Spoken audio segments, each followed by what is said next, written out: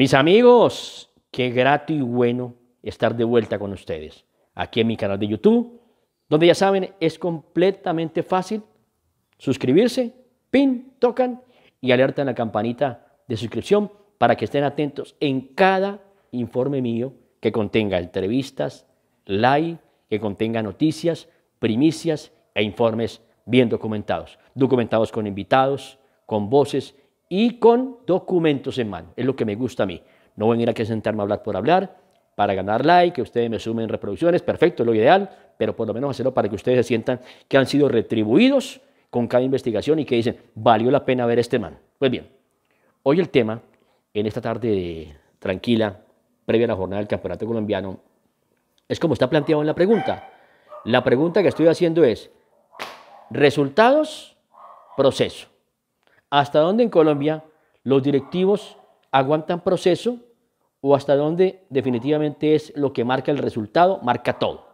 Si no hay resultado, caen cabezas. ¿Y qué es lo más fácil hoy en Colombia? Pues decirle al técnico, usted ya no más, se va. Usualmente y pocas veces, no usualmente y pocas veces, creo que ustedes están de acuerdo conmigo, pasa que corten 5 o 6 jugadores. No. Alguna vez el Deportivo Cali, por allá en época de Rodrigo Toya, mandó 6 jugadores a, entrenar con, los, con las reservas, con las inferiores, y le dio resultado. El equipo terminó su campeón con Pedro Sarmiento. Hoy no lo pueden hacer. Está la gremiación y está lo demás. Por eso es más fácil siempre romper la cuerda por lo más del gavito. ¿Qué es lo más del gavito? Que caiga la cabeza del técnico. Y como el circo siempre pide sangre, sangre, pues le pega la, cabeza del técnico. Hoy en Colombia, una situación sub generis, quien lo creyera, han caído cinco técnicos. Han robado cabezas de cinco técnicos. Dos de ellos se mantienen dentro de un proyecto de eh, manejo inferiores, deportivo y demás, pero como técnicos cayeron. O sea, cayeron cinco. En Colombia me ha pasado mucho el tema de que se mantuvieran técnicos hasta la sexta, séptima fecha, fueran cayendo graneados y se completaran cinco en diez fechas. Pero es que lo dije aterrador. Han caído en solamente cinco fechas cinco técnicos. Y lo más preocupante y grave, en una fecha cayeron cuatro. Cayeron cuatro técnicos. Muy delicado, muy grave y bastante preocupante para el tema del fútbol, señores. Las estadísticas dicen lo siguiente, atención. Esta tabla es linda, ¿no? Puesto 15, Deportivo Cali, con 5 puntos. Puesto 16, Caldas con 4 puntos. Puesto 17, Patriotas con 4 puntos. Puesto 18, Santa Fe con 3. Grave, horroroso lo de Santa Fe, como diría Luis Alfredo Céspedes, saludo para él. Puesto 19, Atlético Huila, 2 puntos. Puesto 20, Pasto, 1 punto. Resulta que este grupito de 6 equipos, del puesto 15 al 20, ya se fueron 4 técnicos. Se fueron 11 Caldas, Lara, Patriotas Bernal, Huila Dairon Pérez y el Deportivo Pasto sacó su técnico también. Sacó al profesor, eh, eh, a ver si me escapó el nombre del propio hombre, por aquí lo tenía. Aquí está el técnico del Deportivo Pasto, el profesor Ruiz también cayó. Cayó. Y a ello le sumamos que cayó el profesor Amaranto Perea para completar los cinco técnicos. Y Amaranto cayó con una producción del 52%. Y, pero no ganó, no ganó nada, no ganó título, peleó fase de Sudamericana, eh, Copa Libertadores, pero no pasó a ser lo que en Barranquilla querían.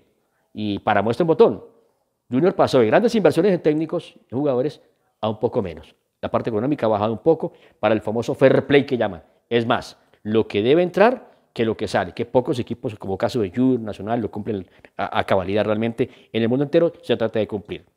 Sigo con datos. Atención. No quería dejarlos ir sin antes hacerle una invitación. ¿Cómo le parece que esta invitación me llegó? Para usted que le gusta la inversión, el comercio.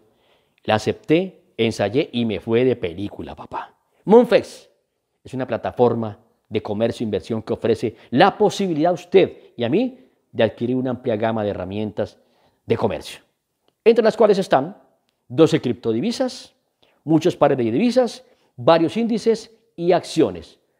Invertir, meterse en la parte económica para asegurar el futuro. Reitero, yo comencé y está marcando el taxímetro. Me está yendo bien, está subiendo, ensayera. Usted no debe ser experto. No fui experto yo.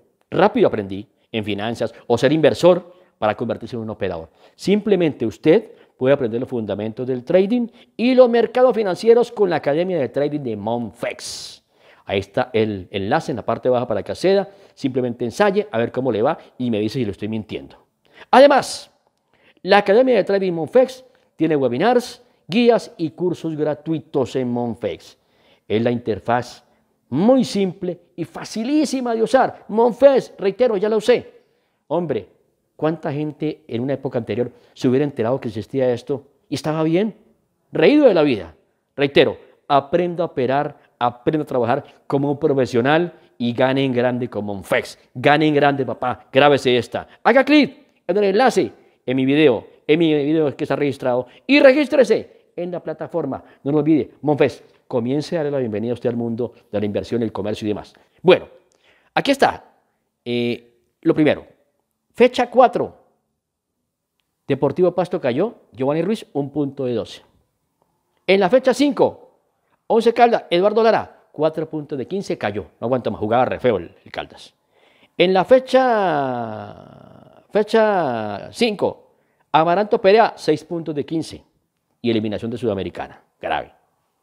Patriotas, 4 puntos de 15, también cayó en la fecha 5. Huila, Dairon Pérez, 2 puntos de 15, también cayó en la fecha 5. ¿Quiénes están en Salmuera? Dos. Dos están en Salmuera. Están en dudosa reputación y continuidad. Uno, Alfredo Arias. Y dos, Harold Rivera de Santa Fe. Arias tiene 5 puntos de 15, Rivera 3 de 15 en una de las peores campañas del Deportivo Independiente Santa Fe. Atención. El profesor Amaranto Perea dejó abierto el debate. Porque hay los defensores, los que predican, no, ¿cómo van a sacar a Amaranto? Muy en trabajo, el proceso, hay que apoyarlo, hay que continuar el proceso. Por más que fracase, fracase, fracase para algunos, hay que insistir en el bendito proceso. Para otros, el proceso y los resultados van hasta un límite, viejo. Es como cuando acompañan al amigo hasta, la, hasta el borde de la tumba. No te puedes tirar de cabeza ya porque te mueres con él, y tampoco. Y Amaranto cayó. Pero lo curioso es que Amaranto no salió a decir nada diferente, nada, nada digo, normal por lo contrario, dijo algo normal y dejó silenciado a los, a los criticones que dicen que cómo van a cortar procesos. Esto dijo Amaranto Perea de manera extraordinaria, me pareció prudente porque dejó la puerta abierta para el debate. Cuando lloramos más nosotros, suda más la tapa que la olla. A ver, Amaranto. Eh, la decisión creo que es acertada, es conveniente para ambas partes porque le permite a Junior también, este, digamos, reconducir el camino, son muchas fechas las que quedan todavía y me parece que en buena hora eh, se toma la decisión.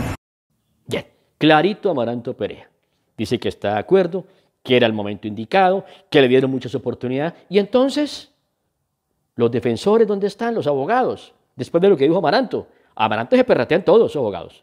Perfecto. Y después, el técnico del Deportivo Cali, en rueda de prensa. Porque el técnico del Cali ya había dicho en el pasado partido terminado cuando empató con Millos aquí de milagro, un partido feísimo. Se despidió de, periodistas, de camarógrafos. Los jugadores le pidieron, parece, no me consta, que continuara. Pues bien, hoy en rueda de prensa, Alfredo Arias fue también clarito y prácticamente que dijo que su continuidad depende de, de victoria ante Alianza en Barranca Bermeja. Si no gana, se habrá ido. Y algo principal que lo voy a destacar, de mi parte, Petiso Arango. No todos los técnicos dicen que se van sin cobrar un peso. No, me voy, pero me pagan todo el contrato. Si no, no me voy. No, este hombre acaba de decir públicamente, y lo van a ver en la respuesta, que él se va y cobra solamente hasta el último día que trabajó. Hasta el último día que trabajó. Es decir, se va el domingo, hasta ese día trabajo. Me acuerdo del queso Fernández en América, no jugaba. Y el tipo le dio vergüenza, le dio pena. Diga, no, no estoy jugando, estoy fracasando. Me voy y no cobro un peso. Hombre que aplaudo. Y si Arias también lo hace, si desafortunadamente por cosas le va mal y no gana el partido en Barranca y, le toca irse, también aplaudo. Porque es un hombre de coraje, un ser humano para mí claro y que es consecuente con la condición humana.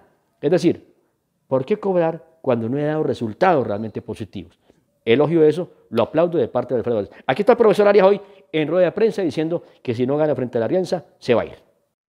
Eh, para nosotros es fundamental, sí, los puntos, pero ya digo, es fundamental conseguir esos puntos a través de, jugar y de defender mejor. Tenemos que defender primero mejor y después jugar bien. Que si el futuro mío depende de ese resultado, y seguramente sí. Pero quiero aclarar que, que yo tengo una manera de pensar acerca de esto de, de ser entrenador. Eh, yo no voy y, tomo el puesto de entrenador cuando voy a un equipo. Alguien me llama, alguien está convencido de que yo puedo ser el entrenador. Tampoco soy yo el que me voy a sacar, ¿entienden? O sea, puedo sí, como lo he dejado abierto y bien claro, yo estoy abierto a que, y liberada las manos del presidente, de la directiva, tienen libre las manos para ellos tomar la resolución que tengan que tomar y, como dije anteriormente, hay una cláusula onerosa para las dos partes. De mi parte, solo voy a cobrar hasta el día que trabajé. No puedo hacer más que eso, Maleja. O sea, no encuentro que un ser humano en su trabajo pueda hacer más que eso.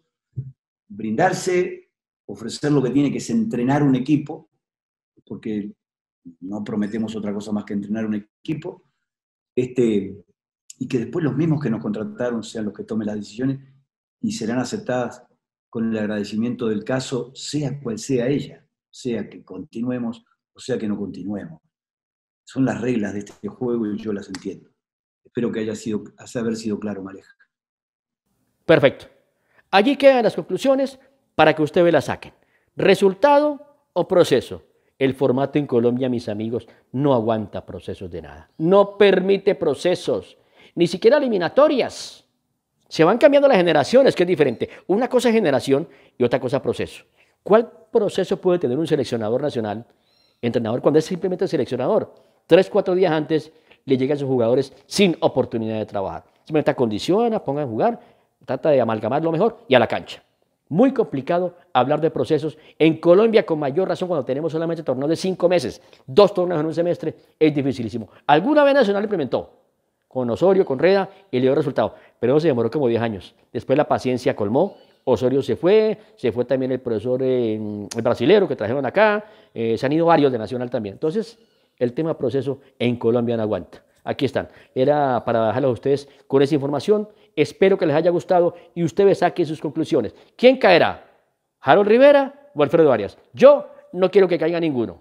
No me jacto de eso. Pero el fútbol es de resultados. Y han caído cinco y seguramente seguirán cayendo las hojas del calendario. Un abrazo.